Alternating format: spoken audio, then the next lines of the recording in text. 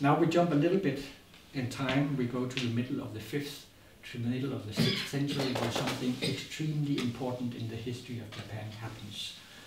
Buddhism is introduced to Japan, and with Buddhism comes not just a new religion, but an administrative system, a written language, and for us, for me, very important, a new architecture.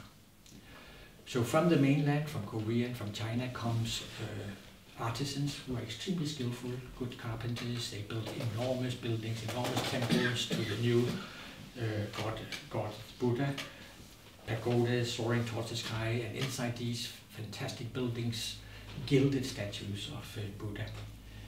Meanwhile, the Ise shrines have reached a degree of development where you can no longer touch the buildings because the sun goddess is inside. You cannot fiddle with a building that houses the sun goddess.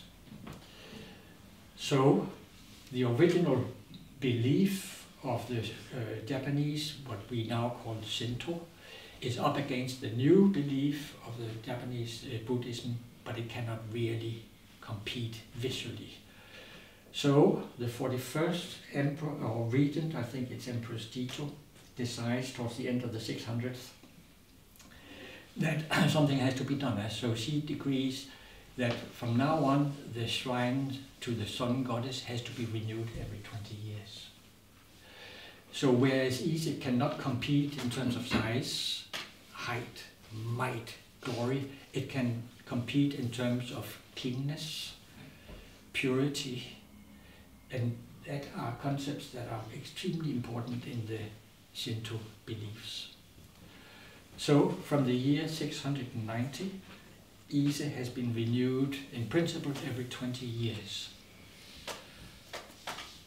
There have been a few interruptions, but 2013, six, seven years ago, the 62nd renewal of Ise took place. And uh, if I may just very briefly uh, explain how it works. Uh, in Ise, you, in principle, you have two sites, two building sites. On one side is always a set of buildings, the shrine for the sun goddess. The other side, in principle, is always empty. But every 20 years, you build a completely identical set of buildings on the empty site. And the dark evening in October, the image or the symbol of the sun goddess is moved from the older to the new buildings. And after a little while, the older buildings are pulled down. 20 years after, it goes the other way. Like that.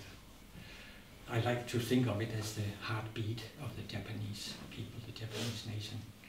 So every 20 years you have this fantastic situation, you have these sets of buildings there, and it's really a paradox because you have buildings which in principle are ancient and new at the same time. New in the new materials, they are very bright, very wonderful, but ancient because in theory they have a shape and appearance which were shaped or for formed more than 1300 years ago. So that's a story about the Shinto shrine for the sun goddess. Hmm. Here we have another Shinto shrine. So that was our time travel.